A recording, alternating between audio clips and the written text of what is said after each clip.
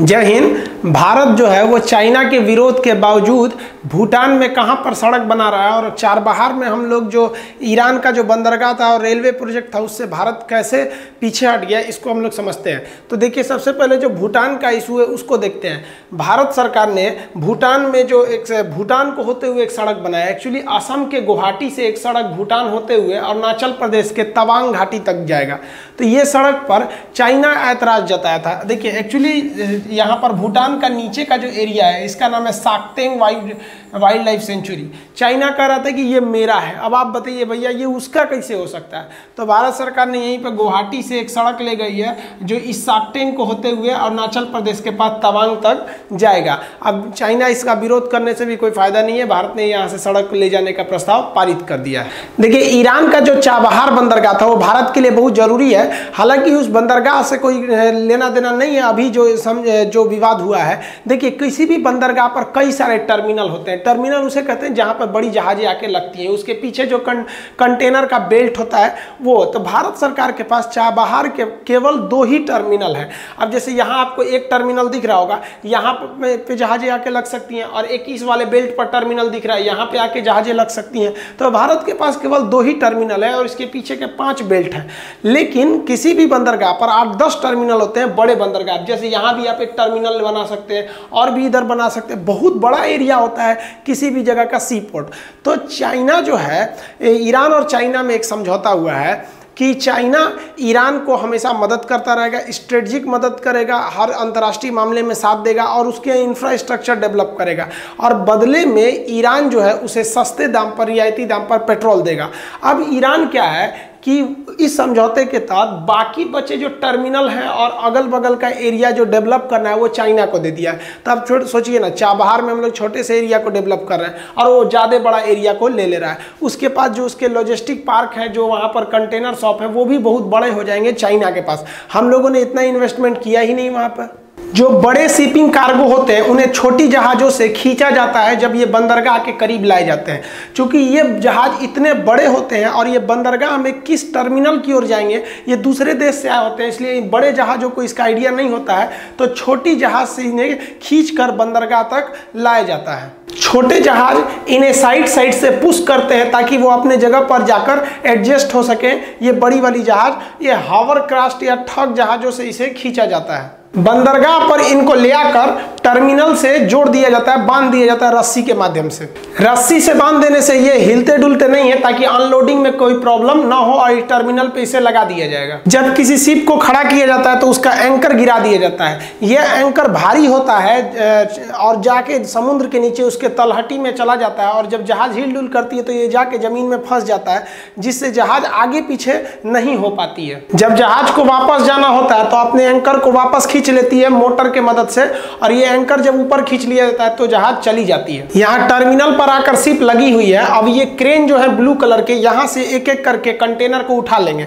अब जैसे यहाँ पर देखिए आप लगे, ये कंटेनर लगा हुआ है शिप पर। अब यहाँ से ये कंटेनर को क्रेन जो है इसको फंसा लेगा कंटेनर को और यहाँ से उठा लेगा। अब ये इधर पूरा समंदर आपको दिख रहा होगा। अब यहाँ से ले जाके, अब ये नीचे इसकी ट्रक लगी हुई है। उसका सबका बेल्ट फिक्स होता है। कौन की इस बेल्ट की बेल्ट की क्रेन है और बस है। उस पर ले जाके ट्रक पे ये रख देगा। जो मेन दिक्कत का बात है, वो रेल प्रोजेक्ट का है। देखिए, हम लोग जो है इंडिया से बीच में आ जाता है, पाकिस्तान, हम अफ़गानिस्तान नहीं जा सकते अभी जो आपको ये जम्मू कश्मीर है इसमें तो जैसे पूरा है, अब पाकिस्तान ने इतना पीओके को क्या कर लिया है? काट लिया है। तो वहाँ पर अब उस वजह से हम डायरेक्ट अफ़गानिस्तान जा नहीं सकते हैं।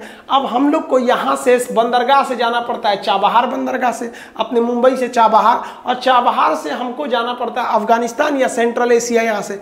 अब यहाँ से हम लोग को एक रेल बनाना था जो एरिया ईरान में था और वहीं से हमको अफ़गानिस्तान तक ले जाना था। अब ये यहाँ चाबहार से ये रेल जा रही थी 628 किलोमीटर कहाँ तक? तो ये आगे लेके जाना था इसको जेदान तक। कई, उसके आगे फिर हम लोग को डेलाराम तक लेके जाना था। इसको दिया गया था 2016 में टेंडर इरकॉम को। इरकॉम रेलवे का ही एक हिस्सा है, उसी की एक पीएसयू है। तो वो उसको लगभग 1.6 बिलियन डॉलर का खर्च करना था इस पर लेकिन 2020 तक उसने एक रुपया नहीं दिया वहाँ रेलवे लाइन बिछाने के लिए। अब ईरान पर दबाव बन रहा है भाई आपकी, आपके वजह से हम अपने देश का डेवलपमेंट वाला काम नहीं ना रोक सकते, उसका ये मेन पोर्ट है और उसके बाद यहाँ से आपको रेल लाइन ले जाना है। अब भारत सरकार इसी रास्ते अफ़गानिस्तान में जाना चाहती थी। अब भारत सरकार को भी तो यहाँ गलती है। एक्चुअली हुआ क्या? गवर्नमेंट ने ये अमेरिका के प्रेशर में आ गया। अमेरिका ने सेंक्शन लगा दिया था ईरान के ऊपर कि भैया यहाँ से पेट्रोल को कम करो तो इंडिया पेट्रोल भी लेना कम कर दिया। सोचिए ईरान से। जबकि आपको पता है कि ग्वादर बंदरगाह ये चाइना ने ले रखा है और ग्वादर का यूज़ वो वो यूज़ करेगा स्ट्रेटेजिकली और ये सीपी इसी सड़क सीधे जा रही है चाइना में। तो हम लोग इसको काउंटर कर सकते थे। हालाँकि अभी भी हमारे पास चाबहार को लेकर कोई दिक्कत नहीं है, लेकिन चाइना यहाँ तो है ही है और यहाँ भी एंट्री मार गया। अब ईरान कह रहा है कि भैया आज तक आपने एक भी पैसा नहीं दिया अमेरिका के दबाव में। हालाँकि यहाँ भारत की गलती है। अमेरिका ने तो भारत पर यह भी दबाव लगाया था कि आप रूस से एस चार मिसाइल मत खरीदिए, लेकिन फिर भी हम लोग खरीदे। और रूस ने भी भारत पर दबाव बनाया था कि आप कौमकासा समझौता मत कीजिए, अमेरिका से फिर भी हम लोग कर देंगे। हम लोग की स्वतंत्र पॉलिसी रहती है, लेकिन यहाँ भारत अमेरिका के प्रेशर में था, जिसका फ़ायदा उठा लिया चीन। और वो, अब भारत, हालाँकि यहाँ पर ईरान ने खुल के नहीं कहा कि वो चीन को देगा, लेकिन ईरान की बैंक ने कहा है कि भैया, हम खुद से अब ये रेलवे लाइन का प्रोजेक्ट बनाएँगे। भारत चाहता है तो इसे आकर बाद में ज्वाइन कर ले। अब लोगों को लगता है कि भारत ने अफगा, अपना अफ़गानिस्तान जाने का रूट खो दिया। हालाँकि अभी भी ये रूट मिल जाएगा, लेकिन अब आप उस पर एक मेहमान की तरह रहेंगे, मालिकाना हक नहीं रहेगा। लेकिन हमारे हिसाब से मेन लॉस ये नहीं है। मेन लॉस जो हुआ, वो भारत को कि हम इंडिया से ईरान पहुँच सकते थे, इस चाबहार के थ्रू और रेलवे लाइन को। और यहाँ से हम सीधे सेंट्रल एशिया तो इधर जा ही सकते थे। काकेशस पर्वत जैसे पार करते तो हमको रूस मिल जाता और यहाँ से सीधा कनेक्टिविटी हमको यूरोप की हो जाती। हम लोग ने अपना पूरा यूरोप की कनेक्टिविटी खो दिया। अगर रूस से रहता तो हम डायरेक्ट वहाँ रूस से भी कनेक्ट हो जा, हो सकते थे। वहाँ से गैस पेट्रोलियम पाइपलाइन इत्यादि ले आ सकते थे। लेकिन भारत की जो लेट लतीफ़ी है, हमारे यहाँ के जो अधिकारी लोग हैं, एक बार सरकारी नौकरी हो गया ना, अब भाड़ में गया देश। किसको फुर्सत है इतना यहाँ पर कि समझौता कट रहा है कि नहीं? 2016 का जो प्रोजेक्ट है, उसमें एक रुपया भी हम लोग नहीं दिए। इतना बड़ा प्रॉफिट हो जाता हम लोग को। और जो हम लोग भी ज़्यादा थोड़ा अमेरिका के दबाव में आ गए। हमको ईरान से पेट्रोलियम कम कर लिए, जबकि ईरान ऐसा देश है जो पेट्रोलियम देता है तो बाकी देशों से कम रुपए पे देता है। दूसरा, बाकी देश ट्रांसपोर्ट का पैसा लेते हैं। ईरान पहुँचा देता है अपने ट्रांसपोर्ट से। दूसरा, हर देश जैसे आपके बंदरगाह पर आकर पेट्रोलियम खाली करेंगे, तुरंत उनको पैसा चाहिए। ईरान जो है साठ दिन यानी दो महीने का उधार देता है क्रेडिट देता है। इतना सब के बावजूद हम लोग ईरान से पेट्रोलियम में कटौती कर रहे हैं। ये कहीं ना कहीं दिखा रहा है कि भारत अपने स्वतंत्र नीतियों को खो रहा है और इसका फ़ायदा किसको हो रहा है? चाइना को हो रहा है। अगर आप ईरान की ओर से देखेंगे तो ईरान ने जो कर रहा है वो चाइना की ओर से ईरान की मजबूरी बन गई है क्योंकि पूरे पश्चिमी देश इसराइल हो गया या अमेरिका या यूरोप वाले हो गए, वो ईरान पर दबाव बना रहे हैं। अब चूँकि हम लोग भी उनके दोस्त हैं, इसलिए हम लोग कुछ नहीं बोल सकते हैं। ईरान को अपना अस्तित्व बचाए रखने के लिए रूस की ज़रूरत है और चाइना की ज़रूरत है। इसलिए वो रूस और चाइना के करीब होते जा रहा है। रूस और चाइना ईरान का साथ भी दिए। जब अमेरिका और यूरोप वाले ईरान के परमाणु कार्यक्रम पर बैन लगा रहे थे तो जो रूस था और चाइना था, दोनों ने मिलकर उस पर बीटो कर दिया, उस प्रस्ताव को रोक दिया। तो ईरान जो है, उसके लिए भारत से ज़्यादा चाइना और रूस का साथ है। और हकीकत में भी उन्हें हथियार जो दे देता है, रूस दे देता है, पैसे की मदद जो देता है, वो चाइना कर देता है। और आप तो देख ही रहे हैं, हमारे लोग के अधिकारी लोग 2016 का समझौता में अभी तक एक रुपया नहीं दिए थे। तो विदेश में ये बहुत खराब छवि बन रही है भारत की। भारत बहुत बड़ा लॉस कर लिया। और भारत अमेरिका के दबाव में आके पेट्रोल को कम कर दिया। हालाँकि भारत को जो गैस पाइपलाइन तुर्कमेनिस्तान से ला रहे हैं, तुर्कमेनिस्तान, अफ़गानिस्तान, भारत, तापी, हम लोग को ईरान से सीधे पाइपलाइन ले आना चाहिए यहाँ राजस्थान में।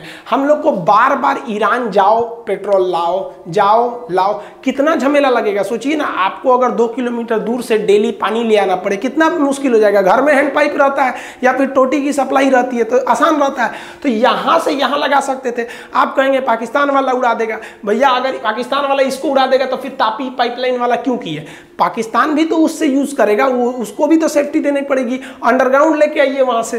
तो ये सब भारत को करना चाहिए। तो भारत को अपने झमेला हो रहा है, इसको पेट्रोल जा जाके ले आओ, फिर ले आओ, पहुँचाओ। एक फालतू का खर्चा। अमेरिका के दबाव में इतना भी नहीं रहना चाहिए। और हकीकत में भी है, भारत को भी अगर लगता है नहीं, अमेरिका उसका सच में साथ देगा। तो रियलिटी में जो सबका दोस्त होता है ना, वो किसी का दोस्त नहीं होता है। अब वर्ल्ड में वर्ल्ड पॉलिटिक्स और जियो पॉलिटिक्स में तो कोई किसी का दोस्त होता ही नहीं है। हमारा फ़ायदा जब है तो ही हम दोस्त हैं। यही अमेरिका है जो भारत पर बम मारने के लिए, परमाणु बम मारने के लिए उन्नीस सौ इकहत्तर में आया था, भारत के खिलाफ, पाकिस्तान की ओर से। और यही अमेरिका है जो हमारे ओर से खड़ा है। तो भारत किसी भी देश को अपने स्थिति को देखना चाहिए। तो भारत ने यहाँ तो गंवा ही दिया ये रेलवे प्रोजेक्ट। इसी के रास्ते हम हर यूरोप के देशों में घुस सकते थे। यहाँ हमारी लेट लतीफ़ी ने ले डूबा, पैसे तक नहीं दिए वहाँ पर। अब ईरान ने खुद के दम पर कर लिया अब चुपचाप रेलवे लाइन पर घूमिए एक सवारी की तरह। आपको कोई मालिकाना हक नहीं मिलने वाला है। हालाँकि ईरान ने कहा कि आप बाद में इसे ज्वाइन कर सकते हैं। तो जो हुआ समझौता, उसको काट दिया। आप बाद में क्या ज्वाइन करेंगे? और यहाँ आप कहिए, एक तरह से तो चाइना ने यहाँ भी अपने पैसे के दम पर और स्ट्रेटजी के दम पर बाजी मार ली।